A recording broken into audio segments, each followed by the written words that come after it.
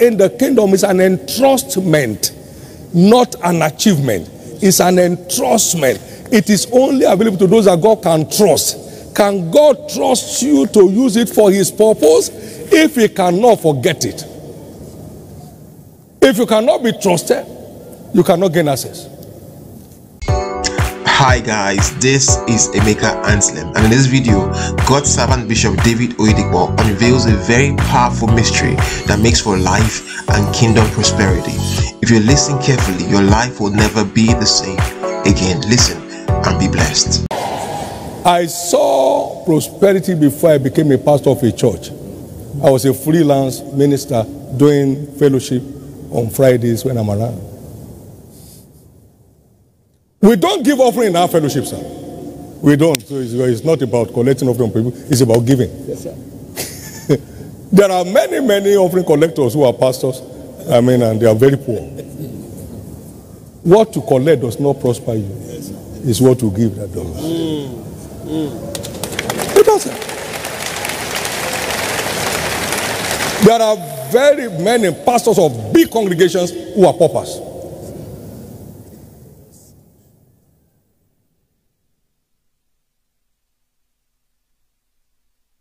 And he said to me, Get back home and make my people rich. I said, How? He said, As poor and yet making many rich. Don't look at you. You are not the source of what I'm asking to tell them. Tell them how to assess my riches in glory. Can I hear your amen? And what I'm telling you this morning.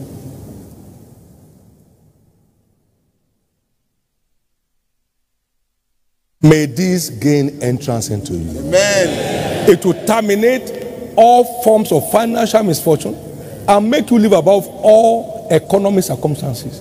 Above all. No guesswork. Above all. Some young people are running around saying that uh, there's nothing like tithing in scriptures. Sit down with your financial tightness. Sit down there, my friend.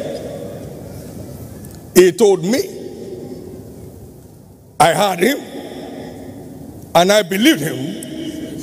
And it shows. And it shows.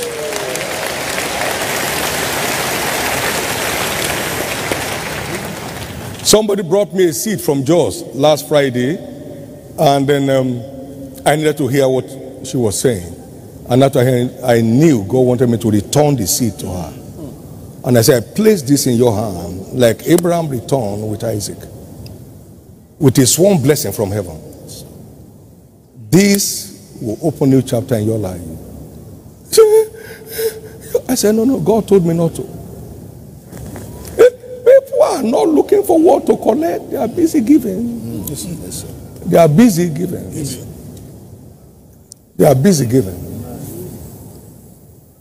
One of the profs at Covenant University was testifying. He said, Sir, I was on your scholarship when I was in University of Illinois. You had it.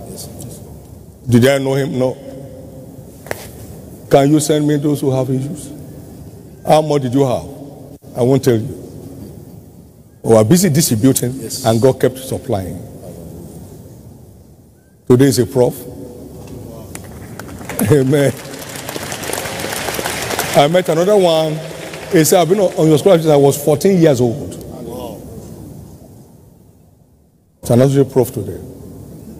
We didn't have a school, not that we are preparing them so they can come to the school when we have a school. No. Uh, school for where? This thing works every day, works every time. A young man met us at the outreach office there. He said, Sir, I was on your scholarship from KHMS to Faith Academy. I ended up at University of Benin. I'm now a graduate. You can't sit down there and be watching and expect things to change. Wake up and start putting God's word to work if you truly understand it. Wake up and start putting God's word to work if you truly understand it. Wake up and start putting God's word to work if you truly understand it. If you are not magicians, we are not sorcerers, and you are doing that kind of project in your church, and nobody is feeling anything, you are wearing white coat. No, no, no. Everybody is tying tie and uh, putting pocket after excess excess money. because this pocket thing can do another time. Ah, Everybody's laughing genuinely. Hallelujah. Genuinely. The remaining days of your life shall be free from pressure.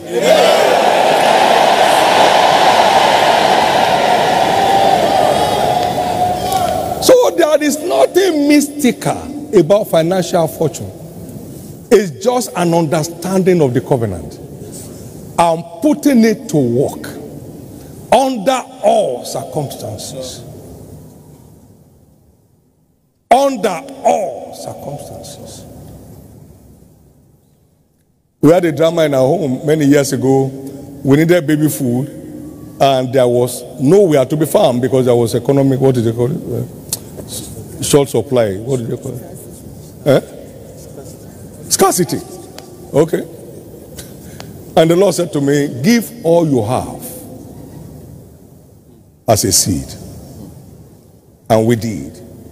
Following morning, 24 cartons of baby food, unsolicited for, no mention to anybody.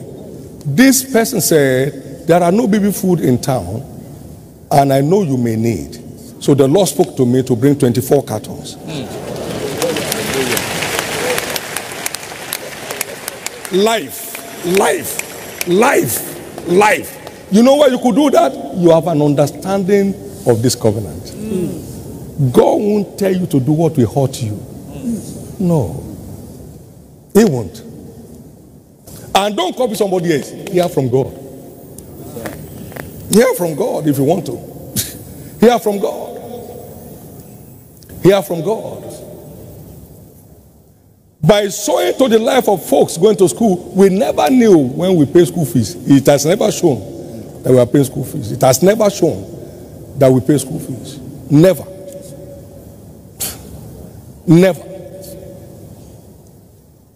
The covenant works and works forever. This covenant works and it works forever. While the earth remains, it keeps working. There was so much famine in Egypt. The people are offering themselves to be sold, to be bought. Hmm? I'm available to be bought. Oh. It was so bad. But Israel, God's covenant people, dwelt in the same nation. They had possessions. They grew and multiplied exceedingly. Genesis 14, 15 to 23. 15 to 27, sorry. They multiplied and grew exceedingly in the midst of a burn down. That's a raw interpretation of Malachi chapter 4, verse 1 and 2. Yes, sir.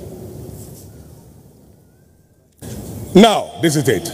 If you have not been faithful in the unrighteous or temporal money, who will commit to your trust the true riches? We are in the days of the true riches of heaven, which your church is celebrating. True riches. True riches. No corner cutting. No talking to governor, talking to president, talking to corporation. True riches. True riches. Dignified riches. Riches without blemish. That's your portion. Luke 16, verse 11. If you have not been favoring your righteous mammon, who shall commit to your trust the true riches? So, wealth in the kingdom is an entrustment, not an achievement. It's an entrustment. It is only available to those that God can trust. Can God trust you to use it for His purpose? If He cannot, forget it. If you cannot be trusted, you cannot gain access. If you cannot be trusted, you cannot gain access. Can you be trusted? Because you are blessed to be a blessing. Are you available to be a blessing to the world around you? You can never be blessed beyond your commitment to being a blessing. It will kill you. Hmm. No. When you see the scripture of a cat, it's like this. The one of a ram is like this. The one of a cow is like this. But the one of an elephant is heavier than you. when he releases, he has to move like a train to move from the place. Otherwise, he will stop being an elephant. He will die.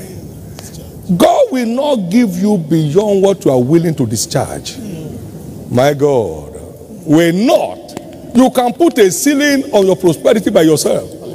God will not bless anybody beyond their capacity to be a blessing. No. He said to Abraham, And I will bless you, and thou shalt be a blessing. That means I will bless you only to the level that you are prepared and committed to be a blessing. I won't bless you beyond that. Would you be willing to pay a tithe of one billion profit? Everybody will say yes. but there are people that if God tempts them with one billion profit today, they will marry another wife.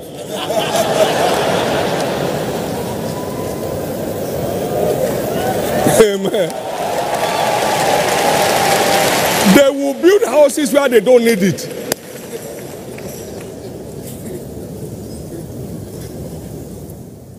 They will hire hotel rooms that they are not living in. You say, if you pay tithe, tithe for what? I'm not interested in all the junk. Okay, go and junk your life. You know something about true riches? It endures. Yes, sir. True riches, what? Endures. Yes. True riches. Endures. They call it durable riches and righteousness. Yes. No games. True riches endures. I've never known one bit of setback. True riches endures. True riches keeps multiplying. True riches don't run dry. Whatever the Lord does shall be forever. So if it's from the Lord, it will be forever. In the name of Jesus, ups and downs in your finances come to an end today.